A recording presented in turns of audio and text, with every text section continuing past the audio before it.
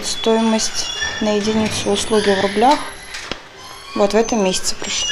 У одних несколько десятков, у других до несколько тысяч рублей. Жители домов 3401 и 6403 с удивлением обнаружили в своих счет-квитанциях за июнь начисления за отопление. Видно, конечно. Потому что, ну, за трешку в принципе много отопления платить.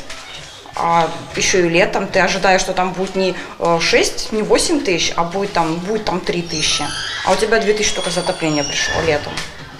С условием, что кондиционер работает. Версий, почему могли снять деньги за отопление, у жильцов несколько. Одни считают, что все дело в перерасчетах за декабрь, другие, что это связано с нагревом воды. По словам челнинцев, это далеко не единичный случай. С нас постоянно что-то снимают. Отопление, места общественного пользования. То есть вот у нас трубы идут под полом.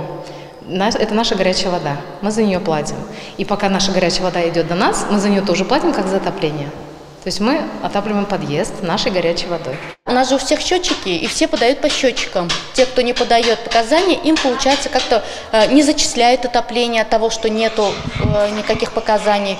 Поэтому, видимо, этот у них долги скопились и с нас берут. В управляющей компании нам пояснили, все дело в подаче показаний счетчиков. По их словам, многие собственники, купив квартиры, длительное время не проживают и не передают показания приборов учета. В июне месяце контролером управляющей компании был проведен контрольный съем показаний счетчиков у тех собственников, которые длительное время не подавали. В результате это привело к отрицательному перерасчету по данной услуге у этих собственников и, соответственно, к доначислению по всем собственникам. Также в управляющей компании добавили, они надеются, что в июле эта ситуация не повторится и убедительно просят челнинцев своевременно подавать показания. С теми, кто долгое время не подавал показания приборов учета, была проведена разъяснительная работа, отмечают в управляющей компании. Искандер Мирзагитов, Кирилл Хабзей, Новости Челны ТВ.